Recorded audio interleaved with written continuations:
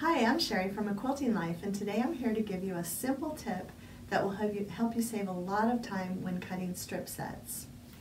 Instead of cutting strip sets one by one, you can line them up and cut them all at the same time. You just have to be careful that you don't overlap any seams. Let me show you what I mean. To cut several strip sets at once, you want to start by lining them up, making sure that none of the seam allowances overlap. So you can tell that the seam allowance is here and the seam allowance for the next strip is here. They don't, they don't lay on top of each other.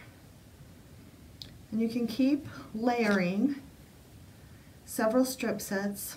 I usually do four. I think I've done six before but you're going to have a smooth cut. Line up the left edge so you can even that up.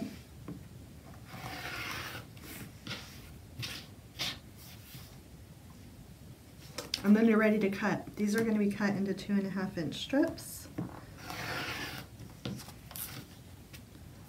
And now I'm cutting all of these strip sets at one time.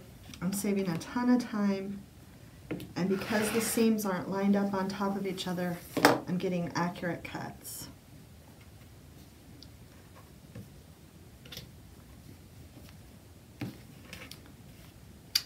So I hope that's a tip that will save you a little time. It's something that I use all the time when I'm cutting strip sets.